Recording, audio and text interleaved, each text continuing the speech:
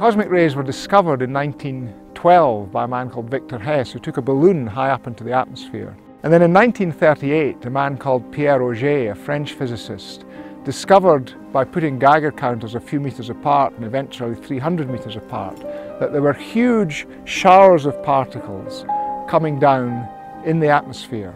Cosmic rays are the nuclei of the common elements like hydrogen, helium, iron that have been accelerated to high energies somewhere in the universe. They're continuously bombarding our atmosphere and some of them reach us at sea level. A million go through your body every night. One of the fascinations about this is how nature organizes itself to produce particles of that energy. One of the really, really interesting questions that we're trying to answer is how and where are these particles created?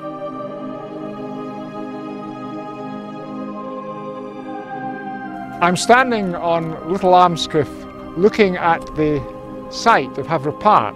The rock is actually inside the area and you can see over there where the mast is what was the centre of our laboratory. Well the detectors that we used to observe the cosmic rays and to observe the showers were large tanks of water. The water was looked at by a device called a photomultiplier and we picked up Cherenkov light which is produced when particles move through a medium with a speed which is greater than the speed of light in that medium.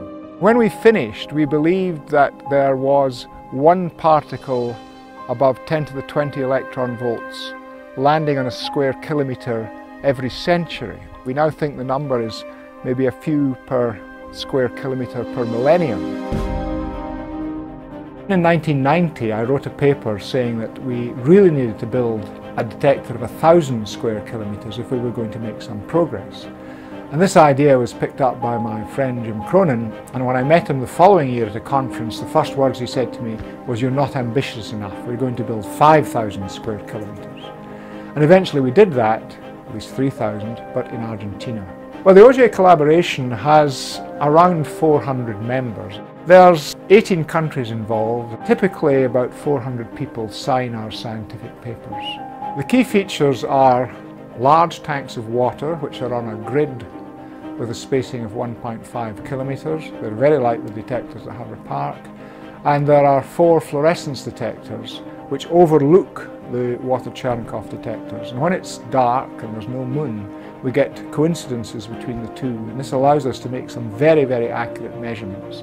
One thing that many people have been searching for since 1966 was a decrease in the number of particles at the highest of energies. That had been predicted shortly after the discovery of the microwave background radiation. Microwave radiation provides a sort of shield round the Earth, a shield that is 100 megaparsecs thick, and it prevents particles of very high energy reaching us from larger distances. We've found a correlation at about the 40% level with active galactic nuclei, which are very, very powerful galaxies with massive black holes at their centre.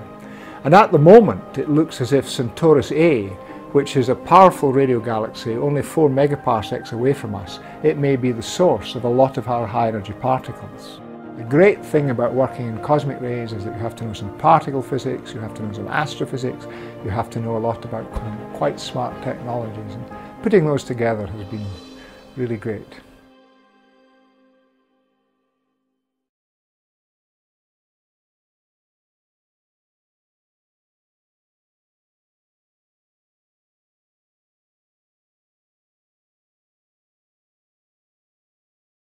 We hope you have enjoyed this video and for more videos go to freqphysics.com.